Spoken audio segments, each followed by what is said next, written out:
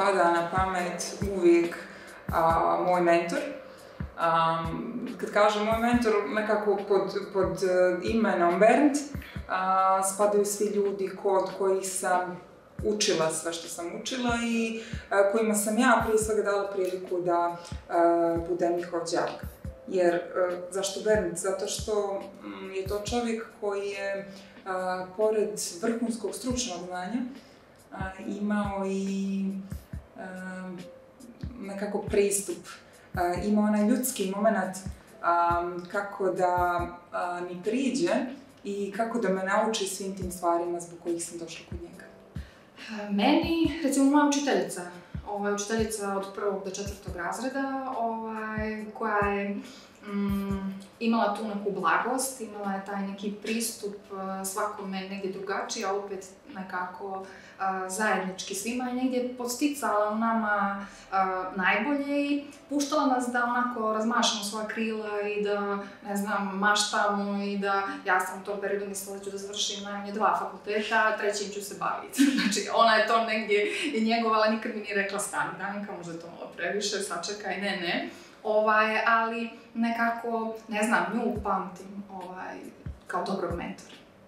NLP je zapravo uh, jedan metod, jedna metodologija koja uh, negdje proučava kako neki ljudi koji su po nekim kriterijima tako uspješni, kako oni razmišljaju, kakve su njihove strategije, kako oni donose odluke, postižu neke ciljeve koji gledaju možda nemogući i onda skuplja tu neku strukturu svega toga i podučava druge tome. To je onako naj, najjednostavnije rečeno sadrži taj neuro aspekt, znači proučava naš nervni sistem, kako funkcionišemo, kako naša čula e, percipiraju stvari, lingvistički segment, upotreba jezika, mm, postavljanje pitanja, izbor pravih riječi na pravom mjestu i programiranje. Znači programiranje mm, negdje onako se tiče svih tih naših nekih načina na koji razmišljamo, strategije koje imamo, stvari koje nam često nisu korisne, poput nekih navika i toga što je najčešće u domenu nesvjesnog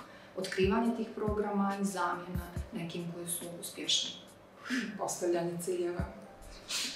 To je, to je meni, za mene, onako suština oko koje se vrti NLP.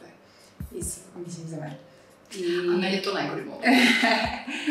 I da, sve tehnike koje uh, učimo ljude na NLP-u i koje smo mi učili, a, za mene su a, bile podrška a, modulu ciljevi koje smo radili na petom modulu, kako i mi sad radimo u našim edukacijama. Zašto? Ne zato što a, ću kupiti kuću i zato što ću kupiti super a, novo auto iz salona, nego zato što E, ću probuditi svoju vrijednost, svoju svrhu, zato što meni bar e, ciljevi su probudili taj osjećaj koliko, koliko ja stvarno mogu, koliko sam e, vrijedna i sposobna da prije svega kreiram, a onda i da ostvarim to što suštinski ja želim. Ne što želim moj šef, moji roditelji, moj partner, nego što želim ja, nezavisno od drugih ljudi. I za mene je to bio, sve sam ja to kao znala, ali nisam pričala o tome pošto to malo dijelo blesao. I onda kad sam došla na modul, uh, dobila sam potvrdu da svih tih stvari da je sve to stvarno moguće. Imala sam osjećaj kao da su s mene pali nekakvi lanci, uh, nekakvih moranja i trebanja kojima sam se vodila i, i osjetila sam jednu nevjerovatnu slobodu slobodu svog mišljenja, slobodu svoje budućnosti i slobodu sebe same, što je uh, meni bilo jako važno u suštini za dalji put i za sve ono gdje sam sada. A, meni je bio ključni, ključni moment spoznaja da a, koliko naša uvjerenja a, utiču na život. O tom što prije nisam razmišljala a, nisam ušte mislila da to ima ikakvog značaja, pro pobogu život je tako nešto slučajno ili splet nekih slučajnosti, nekih okolnosti ili kako god čega, ali da nisam bila svjesna koliko ono u što ti vjeruješ i koja su ti uvjerenja određuju zapravo tvoj život. Mislila sam da je to vezano sa nekim okolnostima spolnim koji ti se dese u životu, pa to ono negdje usmjeravaju, upravljaju, određuju. E, meni je taj modul bio ključan, zato što onda sam počela da preispitujem i postala svjesna. Taj modul mi je bio onako malo i težak i, i, i da ne kažem bolan, ja sam se suočala sa nekim svojim uvjerenjima koja su u tom trenutku bila baš jako ograničavajuća za mene i mm, sprečavala me da napravim neke promjene. I onda ja recimo nisam mogla da razmišljam o ciljevima i o nekim konkretnim tehnikama da mi pomognu da to nešto ostvarim jer sam imala uvjerenja koja to blokiraju. Uvjerenja su onako korak više, korak dublje i kad se njima pozabavimo, onda ok, mogu da mi dođu i ciljevi tehnike, sve ostalo ovaj, e, da ih primijenim, da nešto postignem riješeno kako god. Tako da meni to bilo otkrovenje wow, znači ako moje uvjerenje određuju moj život, pa onda ja mogu da ih i mijenjam, jel?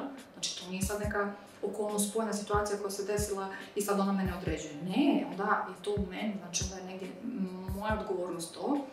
I nije to lako prihvatiti odgovornosti. Ja sam se tu onako negdje izvlačila, koprcala i to jer nije lako. Lakše je negdje ono kao kad je neko drugi kriv odgovoran tako za neke stvari, a ne ti, tvoje misli i tvoje uvjerenje.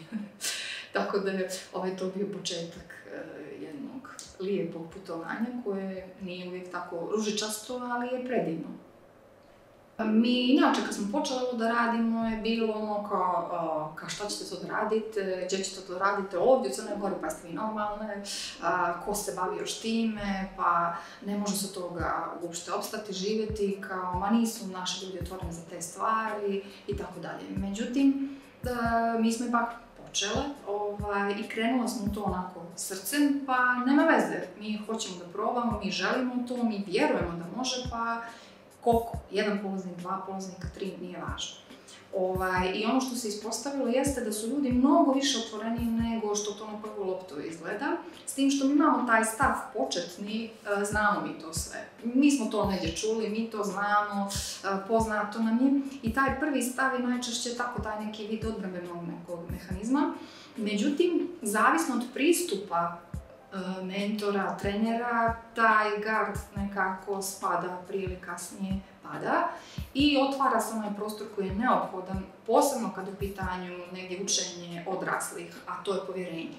Jer odrasli uče na neki drugačiji način od djece. Djeca u početku ti daju povjerenje onako blanko, a sa odraslima nije tako. Ovaj, I onda negdje moraš prvo da zadobiš njihovo povjerenje, da oni spuste taj gard i da onda negdje sebi, ne moraju oni javno, ali sebi da kažu ok, ja sam mislila da ovo znam ili ok, ja ne znam ništa o ovome, ajde sad da vidim šta mogu da naučim. I to je ključni, ključna faza, ključni moment, jer odatle počinje rast. Moje najveće učenje je bilo to da ne mogu da pomognem svima. I prosto taj, e, taj e, uvid da ma koliko ja znala, ma koliko se ja neprestano usavršavala, a, postoje ljudi koji ne mogu dalje odavde to je to. Oni su dostigli svoj maksimum.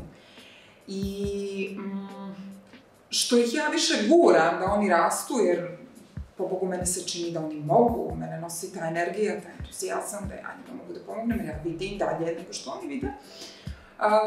Oni se sve više povlače i to je za mene bilo veliko učenje da dakle ja smo tu gdje jesmo zahvaljujući otvorenosti, fleksibilnosti, tome da iz raznih situacija u kojima se nađemo tokom treninga, tokom dana, života uopšte, izlačimo novo učenje, izlačimo maksimum za sutra.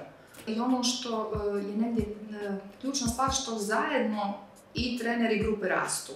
Ovaj, tako da sad kad recimo pogledam unazad, pa te prve grupe, ja sam mislila da je to to. Znači, to je vrhunac, sve to i što se tiče znanja i svega to to. Međutim, Mm, kako dolaze nove grupe, imaju nove neke uvide, nove neke zahtjeve, a onda vidim i kod sebe koliko sam ja drugačija. To naravno ne znači da su te prve grupe dobile manje, ali tačno se nekako naslaže ono, mi kao prosto da privlačimo negdje i ljude u svoj život koji negdje su na nekim sličnim talasnim dužinama, tako da važno biti otvoren negdje i polaznici mi da smo otvoreni za ta stala neka učenja i napredovanja i iznenađenja. Jer nikad ne znaš šta će te iznenaditi. Nikad ne znaš šta će se pojaviti. Taman misliš da si sve obuhvatio, sve slučajevi iz, prak- iz teorije, međutim ne, pojavi se neki novi slučaj koji te iznenadi, što je sjajno, jer to je onda novi prostor za učenje.